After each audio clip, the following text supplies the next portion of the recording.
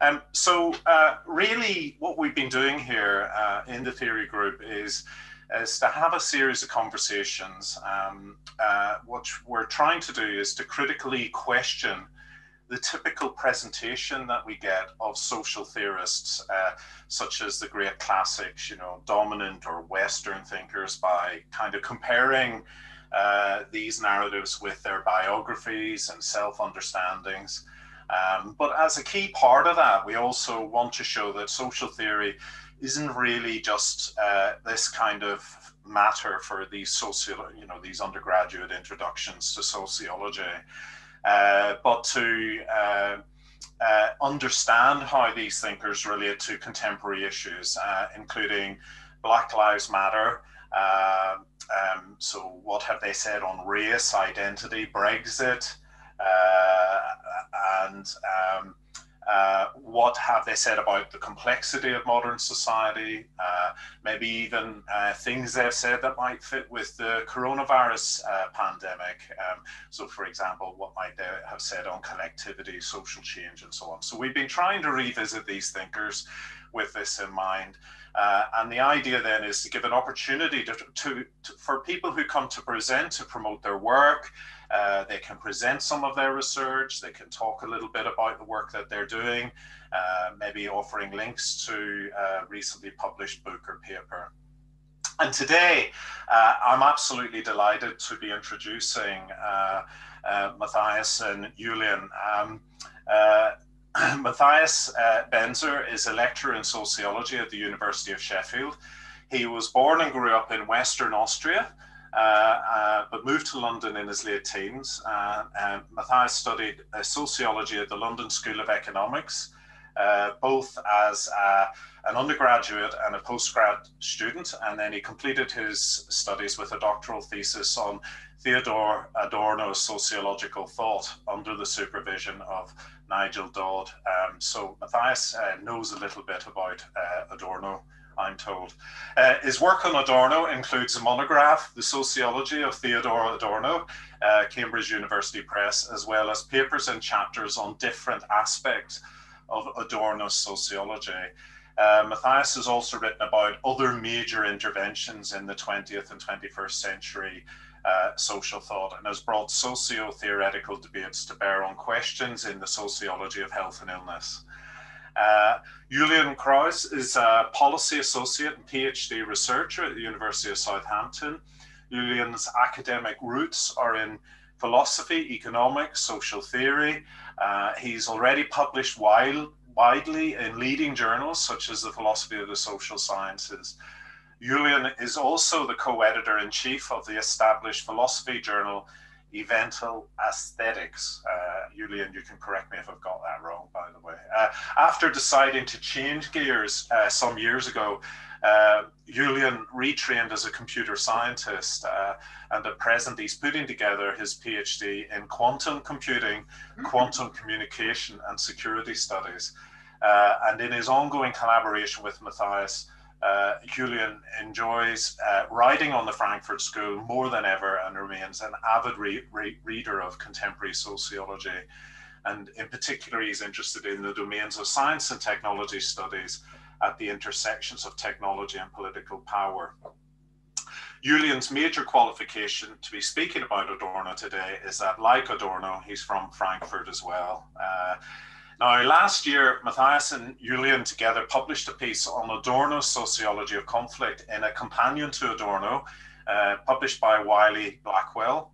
And more recently still, uh, they are, have just completed an essay on the topic that concerns us today, and that is Adorno's examinations of right wing extremism in the conditions of late capitalism. And this essay will be uh, published in the new Oxford Handbook on Adorno, which is due to be published by Oxford University Press later this year. So it forms the background uh, to uh, this uh, discussion.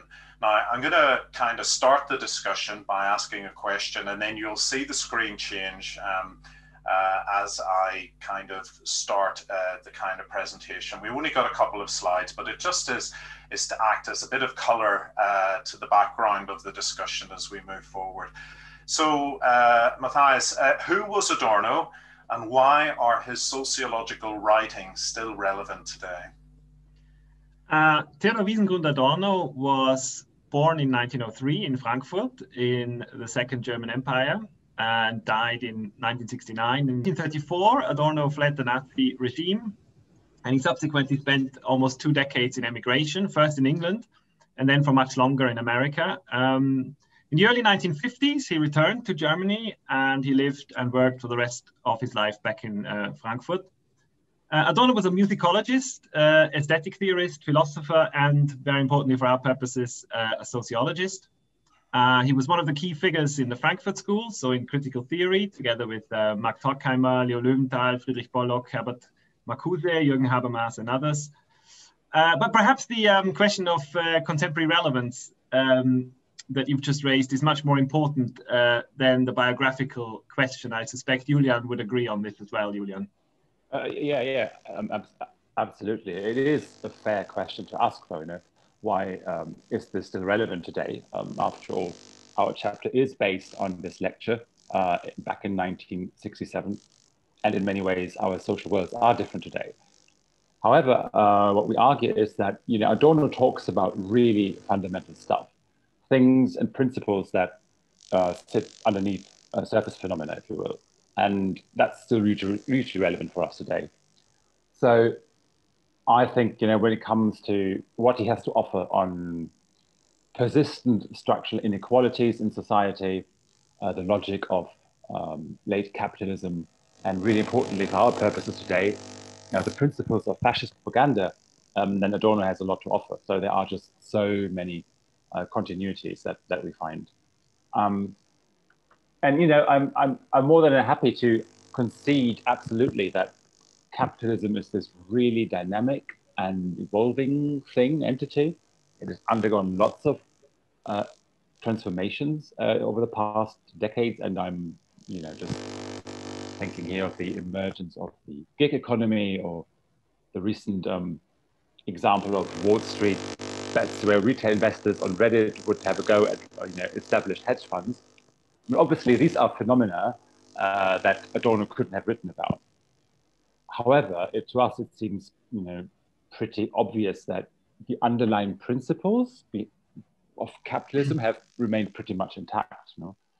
And I'm thinking here, just to finish that point, particular about the logic and the logic of exchange, the logic of profit, how political power operates, really to um, reproduce inequalities, um, and the almost evangelical calling, right, to extract surplus wherever you could possibly find it. And this arguably has us, propelled us into the current um, climate emergency. So, long, long story short, I think if we want to diagnose capitalism at a really rich, deep, and structural level, and you know, a diagnosis that is conscious and mindful of uh, the historical um, conditions out of which capitalism continuously reemerges, then I think the Frankfurt School in general and Adorno in particular have a, have a lot to offer in this space. So long story short, really, uh, Adorno is relevant just because so many of the deep structural interdependencies that he talks about are still very much with us today.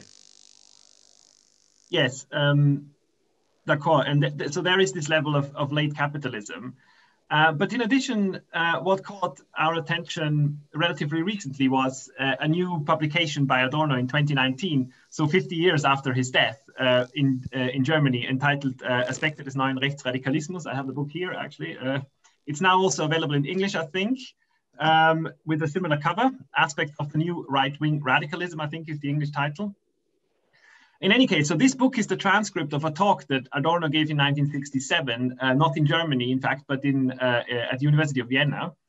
Uh, and the publication also contains a really insightful epilogue by um, uh, Volker Weiss, a historian and an expert on right-wing extremism. Uh, and as Weiss has pointed out, Adorno gave this talk shortly after, I think about three years after the foundation of the German right-wing political party NPD, the National Democratic Party of Germany. And Adorno was trying to elucidate to a foreign audience essentially why this party had become so successful in Germany uh, in recent years. And what is crucial is that in doing so, and here Weiss and a lot of other people agree, Adorno problematized aspects of um, right-wing extremism back then that are very similar to aspects of right-wing extremism today, uh, including in many European countries and including uh, England, I would say.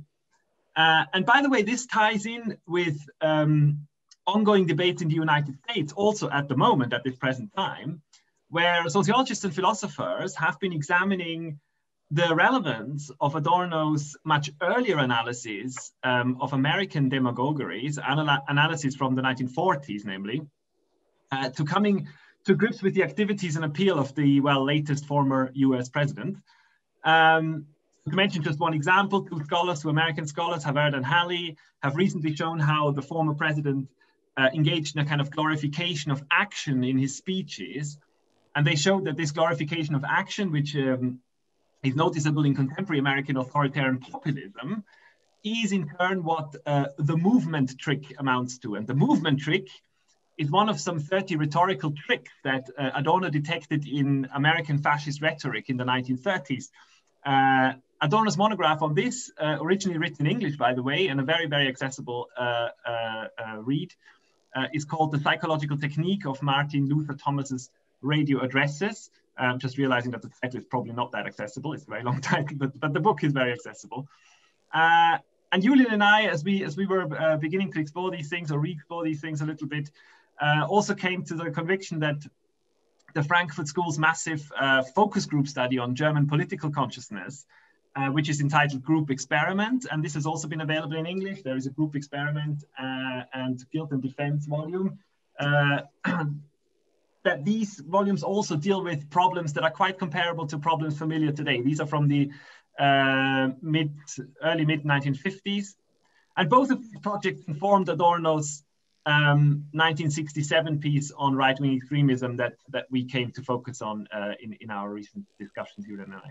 Yeah, yeah, absolutely. Uh, I mean, to me, it was almost a bit uncanny uh, to read this text of Adorno's because it just seemed to have been, you know, have been written with um, a lot of contemporary phenomena in mind, and he draws out a number of connections about uh, what he has to offer, you know, with regard to radical nationalism, uh, what it does people, how it functions, but also quite quite curiously, uh, Adorno has a lot to say about the coupling, you know, the pairing of um, uh, fascist ideology and conspiracy tales. And obviously, at the moment with uh, QAnon, you know, um, that is obviously a very contemporary, very very important uh, example. But he also talks about um, at the time a newly emerging hatred for supranational institutions so the precursor to the EU was the EEC at the time, and that was a target uh, of the right because it, you know, that body seemed to be threatening the very idea uh, of a nation state, and arguably we have some continuities there as well.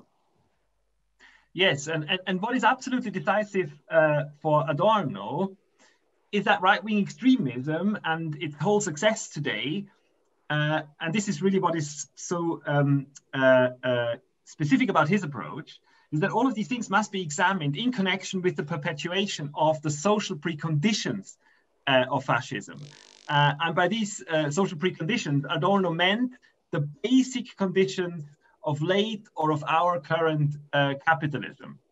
And so the consequence of this is that, uh, just as to add this, Barry, uh, to this response to your first question, the consequence of this is that to and I also want to underscore by this sort of the importance of the various levels that we've already named here, just in this first uh, in this first consideration, that the question of the relevance of Adorno's work on fascism to contemporary investigations of right-wing extremism and related phenomena would be posed in a limited fashion if it were only a question about the resonances between what he observed and what is being observed today about such phenomena. And you you would need, in order to pose this um, question concretely, need to um, pose it as the question of whether his examinations of fascism in connection with the dominant components of late capitalism are relevant for contemporary examinations of right-wing extremism in view of these more per pervasive social relations. So this level cannot be disassociated from, from, from the uh, more empirical side of things. Okay, so um, what did uh, Adorno say specifically about capitalism that is relevant to this in particular? Well, if you start with a fundamental point, perhaps. So by 1967, so by the time he's he's uh, considering these uh, these new emergent phenomena in in, in in in Germany in the sort of late 60s, mid late 60s, Adorno is firmly convinced that the class society that is late capitalism, the capitalism of his time, is characterized by the concentration and centralization of capital and by monopolies. Uh, already in 1957, uh, admittedly in a not particularly well-known uh, uh not very prominent piece called Teamwork in Social Research, um, uh, Adorno already says that if there was ever a blind market mechanism, an anonymous kind of market mechanism, like the liberal imagination, uh, then this mechanism is now, by the 1950s, in fact, much earlier already, monopolistically damaged uh, by the concentration of capital in gigantic, uh, in these gigantic companies. A decade earlier, still, Adorno spoke of the era of economic concentration. So this was really important to him. And incidentally, this is quite well known. This conviction of Adorno's and people like Claude Cavaglietto, Deborah Cook, Peter Uwe Hohendahl, and others have discussed this uh, quite in a bit of detail. Now, in the 1967 talk on right-wing extremism, Adorno once more comes back to this, and he pinpoints this ongoing tendency of capital to concentrate as a central sociological problem.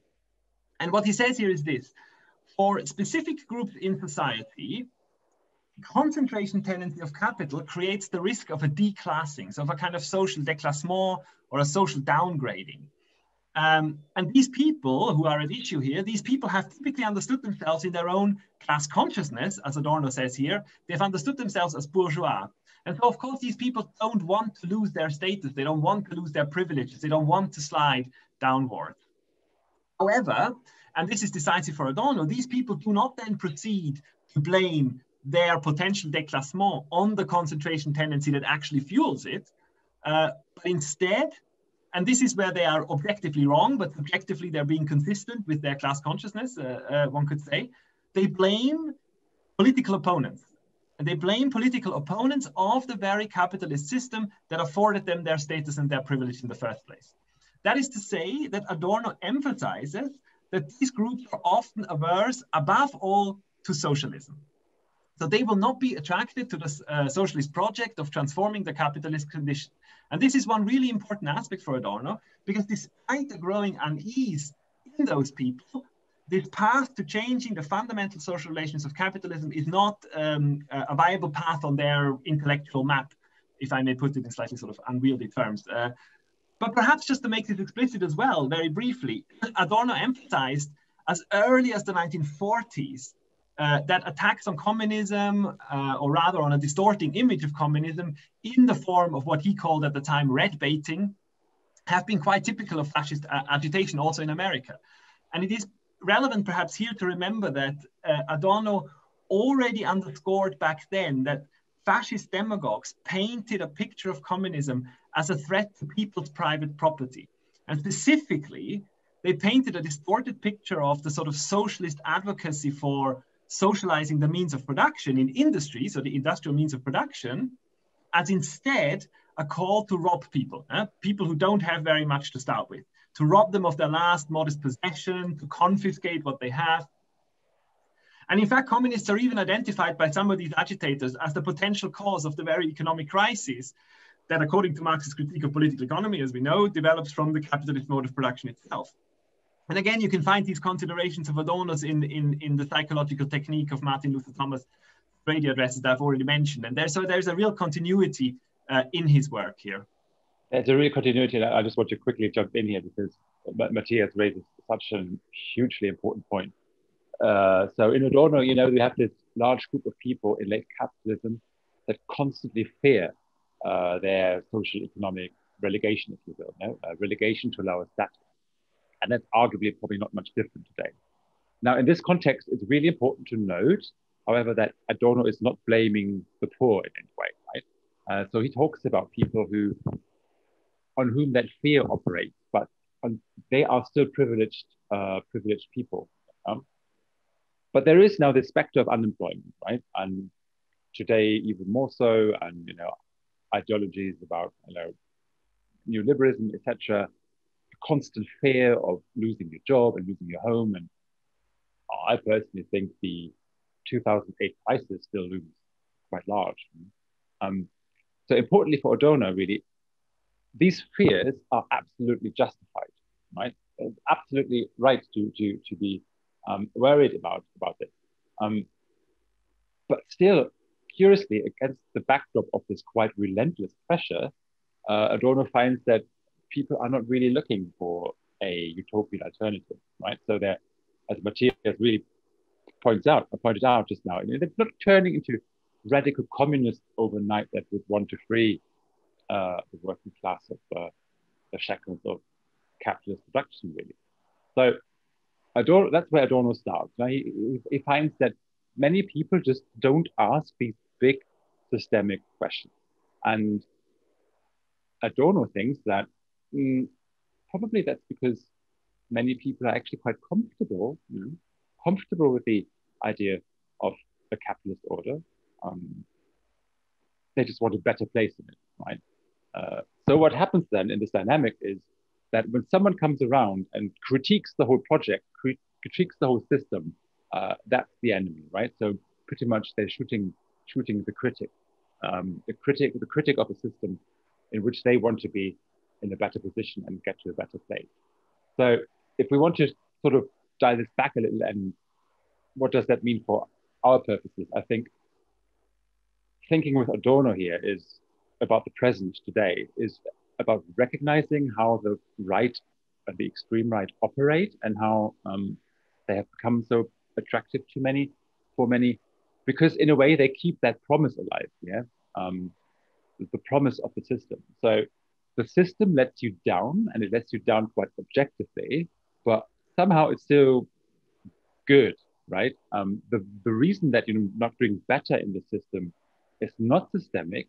It's also not your own fault, but that's then being projected onto other other groups and uh, obviously underprivileged groups that are an easy target. So ethnic minorities, religious minorities, sexual minorities. So, you know, personally, I like Adorno in particular for his dialectical take, right, on the status of victimhood among white privileged people uh, in a way that, you know, people who then turn to right-wing populists. And yeah, yeah, on you know, on some level, there are victims of capitalism too, but there's so much more, right? Um, they are the agents and bearers of their own oppression, if you will. Um, and this is where the, the notion of worth and value really uh, comes in.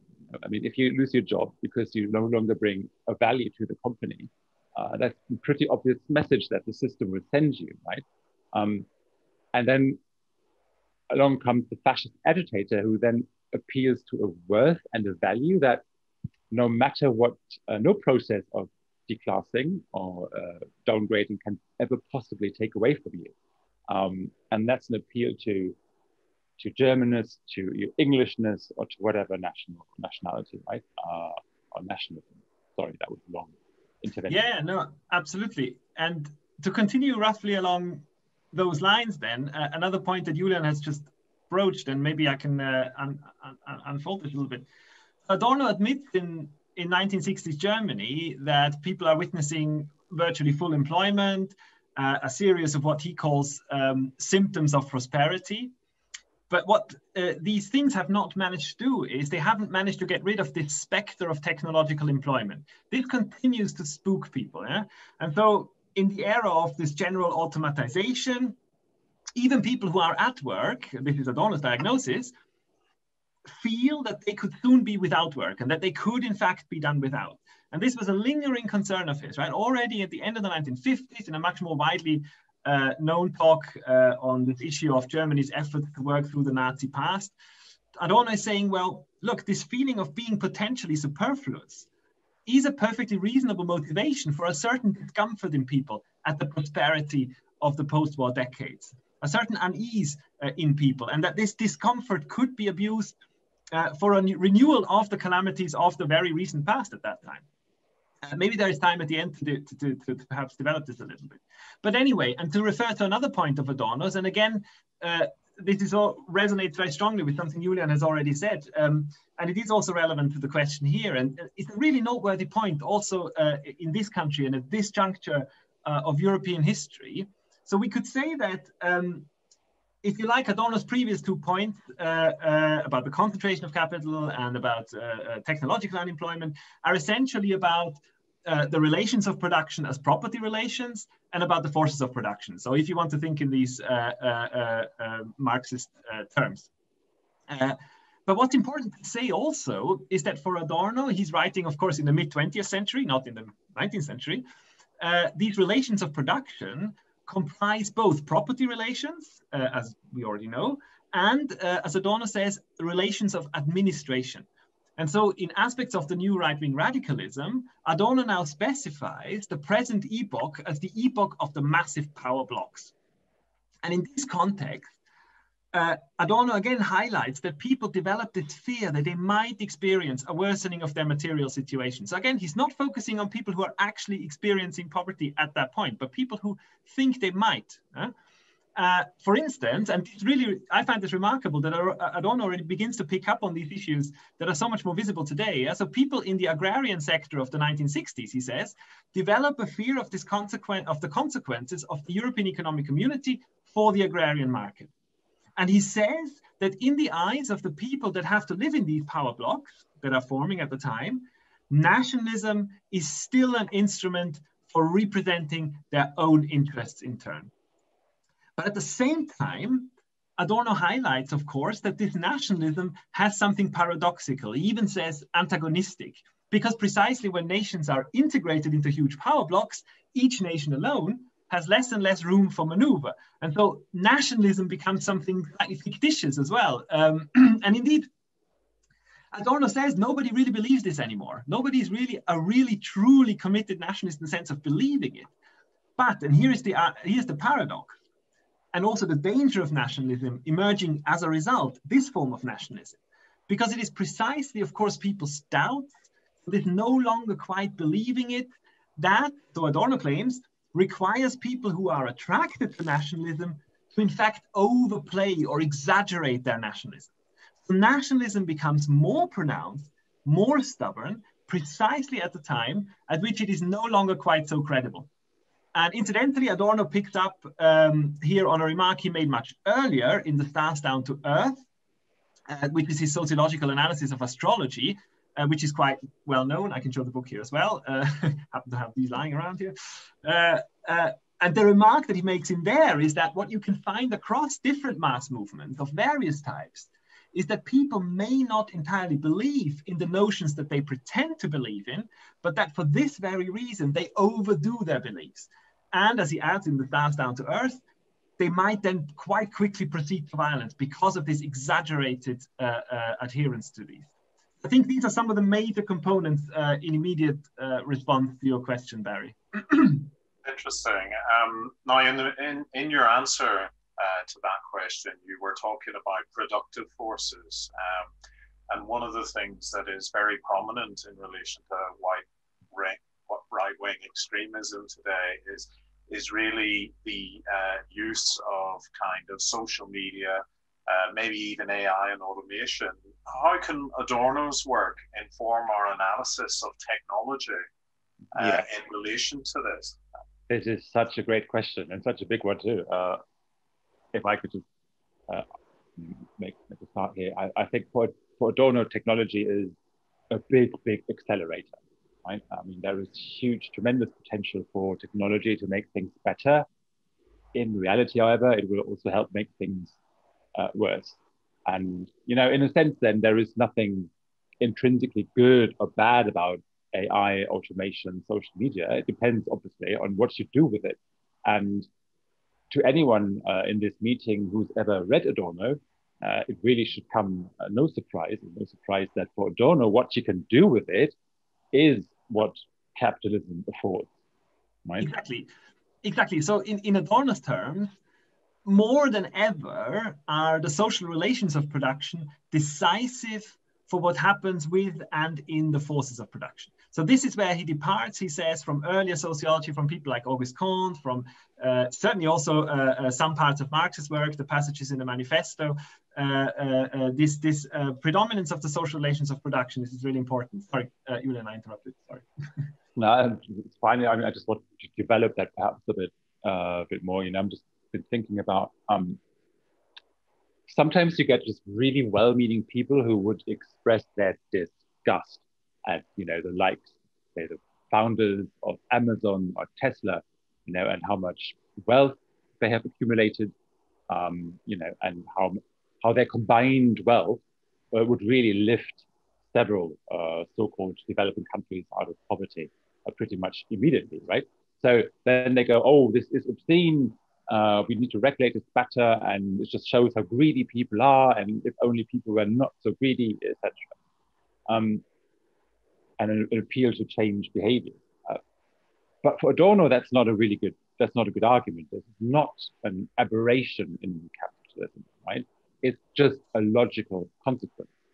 So if it hadn't been for Amazon to, for instance, to exploit uh, new web-based technologies at the time, it would have been someone someone else. Um, and that's really important for thinking about how the right operates. Um, really important that for Adorno, you know, technology just can't possibly transcend property rights. Uh, and what I mean by that, if you, I guess, the history of the internet and the web uh, is probably a good, good example of this, right? Um, quickly elaborate on, on this list. So if you go back to texts from the 1970s, 1980s, um, utopian texts, you know, how a future network society will look like, how it will revolutionize the world. Uh, frankly, it's mind-boggling. You know, this technology will do away with all sorts of inequalities. Um, so in that, in the dreams of the 70s and 80s about a network future, uh, there were just no racial inequalities and injustices at all, and no discrimination on the grounds of gender or disability because everyone would be connected with everyone else, you know, in the comfort of their home. Um, it's this radically flat, radically egalitarian society. And, you know, arguably now that we are working in the uh, comfort of our home, uh, we, we see that this didn't quite work out that way, did it? And we probably even didn't need uh, the current global COVID pandemic to, to say that this didn't quite work out. So yes, a lot of great things have happened, uh, but you know, big tech happened too, and a lot of exacerbation of, of inequality. Now, in that, so going back to that book that uh, Matthias and I are discussing in our chapter, right? Adorno talks about that fear of automation that Matthias has mentioned uh, just now. So this this fear that the robot could replace you, and that's now some sort of constant background noise. Um, Adorno's thinking here, I would say, is uh, quite Marxist in a way, you know, uh, essentially Marxist in that capitalism is this contradictory affair. You, there is, you require technological progress to maintain a competitive edge over your rivals and other players. And that then sees to the development and obviously deployment of ever more efficient machines uh, that replace workers, make them redundant, and that puts additional pressure on the system from within and destabilizes the whole uh, system from, from within. Um, and arguably, that is much more an issue today than it was back then for Adorno.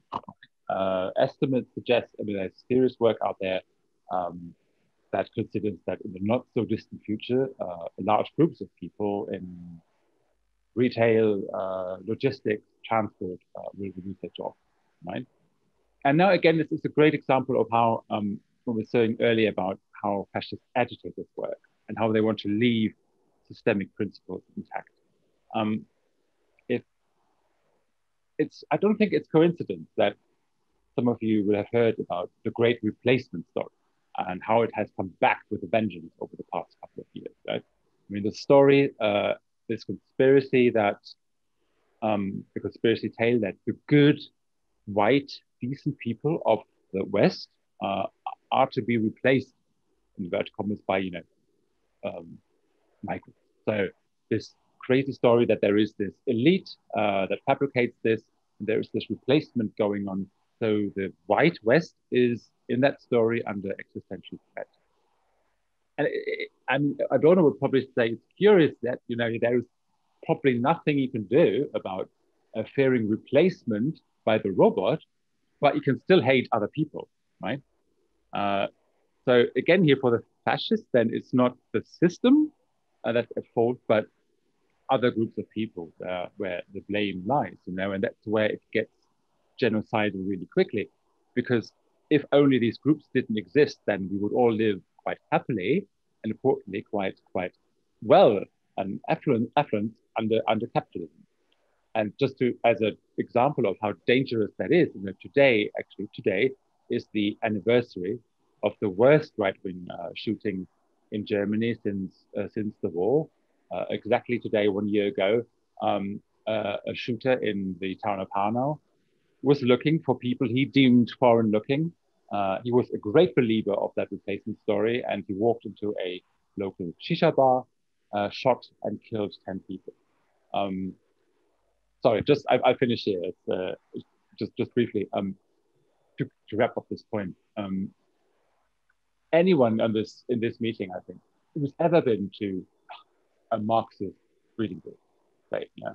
Uh, and you might remember how much arguing there was, how much debate there was, how difficult it is to develop this perspective on or reflect on the system from within the system. You know, it's really hard work.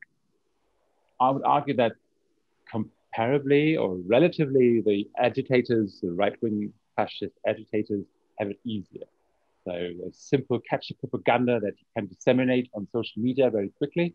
Uh, it gets, it, you know, provides a dopamine kick every time with each click. Um, but to get that level of engagement and excitement going, and the technology lends itself for that, um, the message needs to get louder and shriller every time to create that, that effect. So what you find today is this really bizarre um, mix of people, and I think we have a slide for this. The very last slide, I think, uh, is, is a picture from one of these rallies they had in, in, in Berlin recently. You know, it's sort of a, a mix and melange of right-wing uh, extremists and conspiracy tales and anti-science and crude esotericism, anti-Semitism, obviously, and outright madness um, that's going on there. So, and just to finish that point, sorry. For Adorno, importantly, these are not independent phenomena, but they all sit on a continuum. Uh, and we should also then you know, analyze them as such. Uh, so that's an answer to your question, Barry. I hope. Uh, yeah. What to think about technology uh, sociologically, uh, if you, if you So, so uh, one of the things that springs to mind when I'm, I'm listening to this, because there's a lot of current discussion and debate around um, for example, rentier capitalism, some of the debates in economics about inequality and widening inequality. Um, how do you think all of this links uh, to debates in economics uh, about rentier capitalism? So we're thinking of Brett Christophers' book on rentier capitalism, Thomas Piketty, and so on. Mm, yeah, it's a, uh, a good one. Um, I would say that broadly speaking, very broadly speaking, we would find support for this line of work in, in Adorno, uh, probably in particular regarding Piketty. Um, so, you know, there is, yeah, uh, there is debate uh, around his statistics, um, but I think Piketty has demonstrated quite, quite robustly in this big successful book of his that over the past 250 years, there simply has been no self-correcting mechanism in capitalism that would help us tackle inequality. Uh, so what he did essentially was he, you know, he, uh, he finds that uh, capital returns persistently outperform economic growth rates. Uh, and that just means that if you own capital, you get richer faster relatively compared to, to, the rest of the, of the population. Uh, so over time, that just leads to this widening gap and an increase in inequality uh, between, between groups. And this is a very self-perpetuating uh, process and probably a more sophisticated way of talking about these things than Adorno's, who wasn't um, a trained statistician, but probably you know, his, what he is saying about the concentration of capital is goes, goes in a similar, similar direction. I think with regard to rentier capitalism, uh, the picture is probably a bit more mixed, I would think, in that mm, Adorno would certainly concede uh, that it's absolutely evidently true that in capitalism you have these rent seekers and that they wish to extract maximum surplus, right, while giving back as little as they possibly can, uh, if possible, give nothing back at all. But Adorno would probably say that's not necessarily a new thing. It's where you end up uh, if and when you uh, let capitalism run its course. So I think he would warn us also against placing too much emphasis on certain elite groups um, at the expense of, say, a more structural analysis. Because for Adorno, at the end, the elite does what it does because it can, right? Um, and the moment we just over identify certain groups of people or individuals that are source of all evil, you know, I guess we're getting into a pretty dangerous territory. So uh, this would be my um, immediate yeah. Okay, we're, we're running really short on time here. So um, uh, there's just one thing I would like to ask really to sum up so then we can open up to some discussion today. Um, uh, where does this really leave us in relation to right wing right wing extremism, and, and uh, how should sociology really be responding? Well, to my mind, Adorno's sociological writings would suggest suggest that contemporary sociology should grasp this problem of extremism not just as an outlier eh, or precisely not as an extreme in that sense, but that extremism needs to be grasped in close relation to the dominant uh, social conditions of late capitalism. And when you say in close relation to, then I think Adorno would probably want this to be understood in two ways. Firstly, uh, and this is what we have been speaking about really for the last half hour, uh, it is of course the case that um, late capitalism in these different ways can foster and foment uh, uh, right-wing extremism. Uh, but also, secondly, the rise of right wing extremism has implications for late capitalist conditions as a whole, um, or even for humanity as a whole. So Adorno was no doubt about, about the dangers of this. Um, a really striking il illustration, again, of, of, of, this view of Adorno's uh, can be found in his in this aspects talk that I was referring earlier. Namely, in his discussion of quite strange, at first sight, quite strange longing for destruction among right wing extremists. If you go back a couple of decades further again to the 1940s, now Adorno is studying American fascist agitators when he's in exile, and he says, well, I'm observing here that these agitators and their listeners are getting excited by the notion of an unavoidable disaster. And that, in fact, they were getting excited not only about the notion of the destruction of whoever they consider to be their enemy, but also getting excited, really excited about this notion of self destruction. Huh? And at the same time, Adorno was already then able to amplify references in these um, in this uh, uh, uh, uh agitation material to an imminent sort of world calamity, uh, a sort of all-encompassing disaster. Uh, and there are discussions of this already. Again, I, would refer to George Cavalletto and people like that who've discussed these writings. But now, if we go back forward a couple of decades to 1967, uh, aspects of new right-wing radicalism, then Adorno says this, and this does resonate with the early considerations, but also uh, it shows that the right is now taking a further step here, as it were, a further step in that direction. Fascist movement now, says Adorno, want a catastrophe. They appeal, uh, he says, to an unconscious uh, desire for calamity. But this longing that Adorno is now emphasizing is no longer just a longing for the downfall uh, or the uh, uh, end uh, or the collapse of a defined enemy or even just of myself, but the collapse of the whole. They want the death of everything. So these are, as he says, end of the world fantasies. Now, it doesn't need to be spelled out, obviously, that the prevalence of such fantasies potentially has consequences for society as a whole. This is a, a, a very dangerous kind of uh, mindset. But again, from the other side, what Adorno is also arguing is that some people actually no longer have much of an alternative to the desire for total disaster.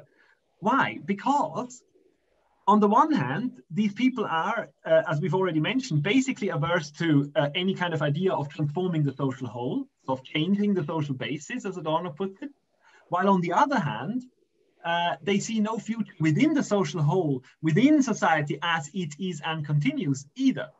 Rather, they now are sort of compelled to constantly ask themselves this question how is all of this supposed to go on? How can this go on? How can this be sustained when the next big crisis hits? You can hear here with the notion of go on, right? You can clearly hear here also the resonance with Adorno's reading of his, uh, his favorite Irish author, Samuel Beckett. Eh? Uh, and I think that for Adorno scholarship, it would be actually really interesting to amplify these a little bit. Um, for example, he speaks in aspect when he speaks about these problems of a crippled and false consciousness. Uh, and he says that people here are already sort of discounting the economic setback. And in, in the Beckett writings, he says the Beckett's dramatis personae, Beckett put this on stage in a sense, right? His dramatis personae dream of their own death in Endgame. They discount the end of the world. They have a bombed out consciousness. These are sort of Adorno's uh, formulations. But in any case, people's doubts about the system, that how can this all continue? Adorno traces this in turn back to people's social situation. So the tendency towards immiseration and the ongoing tendency, again, of capital to concentrate uh, in late capitalism. And Adorno is adamant that the social relations of production and people's fears of the consequences of development in society as a whole are ultimately behind the fact that we find uh, fascism, people who follow fascism, with all that this implies, uh, in almost every sector of the population. So not only in some sectors, certainly not like the petite bourgeoisie, or certainly not uh, uh, in the most disadvantaged sectors, but almost everywhere. And sociology, taking inspiration from Adorno, would make the attempt to capture these extreme aspects of extremism, so the extreme of the extreme, but it would also need to master this task of deciphering these attempts, um, uh, the, these aspects uh, uh, uh for their own uh, social context. So what this means is elucidating these not just as something extreme, not just as an outlier, but in view of social conditions that are much more widely prevalent. So in view of the basic social relationships that organize uh, the way in which we all live and die uh, uh, today. Uh, that that would be the that would be the sort of methodological method, message, if you like, from Adorno's uh, sociological writings in this area. I'll just keep this really brief in the interest of time, uh, and because Matthias, and I, I, what could I possibly add to Matthias's wonderful words here? But um, you know, thinking with Adorno in terms of doing sociology, I think invites us really to um, try and trace and reflect on the large, complex formations that maybe you know, sit behind some concrete uh, social phenomena that we're looking at. Um, so, you know, in sociology 101, we all learned that everything is connected with everything else. But the really big, big question is how so? You know, and to me, Adorno, Adorno's work is a reminder to respond to that question. So no matter if you call it the social whole, the totality, capitalism, uh, you know, the way things hang together, um, Adorno is quite adamant that that will never reveal itself completely in just purely intellectual musings or concept making, but crucially, uh, aspects and glimpses of this capitalist order will necessarily shine through um, in whatever we do and whatever we study. And how could that be, could be any different? So just as an inspiration for sociology, I think uh, thinking with Adorno would mean to try and map these different connections between what appears uh, separate to be separate phenomena, uh, but are probably not. Yeah. Okay, so uh, I'm going to rid of uh, my my screen, and we're going to open up to any uh, any questions that people have. Um, uh, so, uh, has anybody any questions they'd like to ask? You can put them into the chat, or you can um, uh, uh unmute your mic and have have a chat. Uh, remember, we're recording today, so. Um,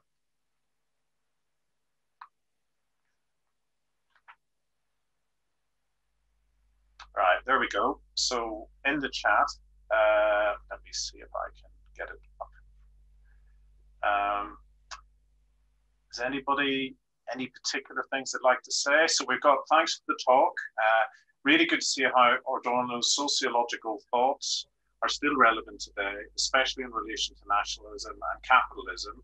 Given the fact that Adorno spent time in the US and perhaps aware of Black struggles in the United States, I wonder whether it's possible to read Adorno through racial capitalism that underpins a social and economic difference between whites and non-whites? Uh, yes, um, there, there is work work on this is actually ongoing at the moment in, in Adorno scholarship. Um, I mean, this, I would first of all say something that was recently said by um, Anisha Sankar in a paper. It's not about the paper is not about Adorno. It's about Frantz Fanon and uh, Walter Benjamin. Um, Benjamin, of course, being a thinker very close in all sorts of ways to Adorno. And Sanka says rightly, in my view, that uh, uh, uh, people who are interested in, in, in, in, in the relationships between uh, uh, uh, white people and non-white people, people like Fanon, um, do not require European thinkers to be legitimated, of course. Um, and, and we can extend this and say Adorno might not be required for, for, for that analytical project. But the reverse question, whether Adorno's work would gain greater legitimacy, let's say through uh, um, uh, his own ability to contribute to this, that I think is a serious question um, because, um, and, and I think that's where the question is heading. Um, and I think there are several points one could make. So on a sort of larger, larger, uh, a more abstract uh, level, um, Adorno, of course, uh, is uh, a theorist who analyzed racism uh, uh and capitalism uh, and racism in capitalism. Uh, and this, this is obviously well known. and many Adorno scholars have pointed this out. For example, recently, Marcel Stoetzler, a really good paper on static and dynamic in the journal Fast Capitalism. And this is ideas, this is Adorno's idea that there is an intrinsic connection between the conditions of abstract labor, the, the, the conception of abstract labor, and racism, and that this reduction uh, tied into the identity principle is encapsulated by both. Um, but I'm sure that th that sort of doesn't really need to be rehearsed. But what I think is, is, is really interesting is something that came up when I was reading uh, um, the group experiment study. So the guilt and defense and, and, and, and the group experiment study. And what he's saying there is that Adorno says, okay, he's, he's researching uh, in the group experiment in this study, he's researching in a focus group uh, the political consciousness of German people in the early 1950s, right? And what comes up here at the time, of course, the world is looking at Germany and is saying to Germany, look what you guys have done. And in a discussion amongst participants in this focus group, so the study subjects, um, one of the participants or several of the participants began begin to argue that Americans, I'm paraphrasing, Americans are in no position to reprimand the Germans for the Holocaust because in the southern states, white Americans are lynching black people. And so Adorno's research on fascism picks up uh, on these con constructs. And he shows this. He says, firstly, how white people, in this case, German white people, seek to silence those that point out the genocide committed by Germany. And secondly, how these same white people instrumentalize the suffering and death of black people at the hand of other, uh, in this case, American white people for that purpose. And I think that such utterances are noteworthy, right? Not because examining them contributes any novel insights necessarily into American white racist violence against black people, because it doesn't, it, it is not a central theme in Adorno's work, but it does offer an insight into how some white people treat the victims of other white people's racist violence. And so here, this violence is not at all treated as something uh, by these study subjects. Uh, the study subjects don't treat this violence as something that must be condemned or prevented, but instead, in a sort of reification or a second reification to be precise, of the victims, the victims of the racist violence of American white people and the violence itself are turned by the German white people into mere means to their own uh, kind of sufficiently sinister political ends. So there's a second reification going on. Now, this I think is interesting in terms uh, of what we can unearth from Adorno's um, Adorno's work about the relationship of um, uh, uh, white and non-white people uh, in America and, and more generally. Um, so it's, these, it's, it's in the subtleties, it's in the nooks and crannies, I think, that, that where it is. So we have another question, uh, Juljan. Uh, maybe you can handle this one. Um, so it's from Christian. Great discussion. Uh, I, I, have a question on the wider application of Adorno's idea. We're running out of time, by the way, so we have to. Um, um, the system lets you down, which is directed at other groups, leading in turn to right wing extremism. But isn't that the same pattern for left wing extremism? The German RAF also argued that the problem is in the system and pointed at the privileged elites is he actually providing a more general model of extremist logics that could be applied to the wider area of extremism, fundamentalism, and terrorism? Uh, yes, but with a twist. so yes, it is a more uh, general model in my view, uh, but because Adorno was certainly quite um, dubious about uh, communist credentials by uh, many self-claimed radical thinkers in the late 60s, you know, particularly the students' movement um, and the call to action in where he obviously not with everyone, not everyone in that group, but he, he identified a certain aversion to concept making, to thinking, to theory making. You know, it was all about what, oh, we don't need this theory, we need action, right? And uh, Adorno was very dubious about that logic that operates behind that. So, yes, in a way, it would be a more general model, but for Adorno, he would probably try and unpack uh, claims that say, oh, well, I'm super radically communist and left, and probably try and prove that in actual fact, there are, you know, fascist tendencies in, in ways of thinking, at least, right? Um, so arguably, I would, maybe Matthias disagrees, but I think he would try and bring this back to his analysis of um, how, you know, the fascist logic works. Very good. Okay.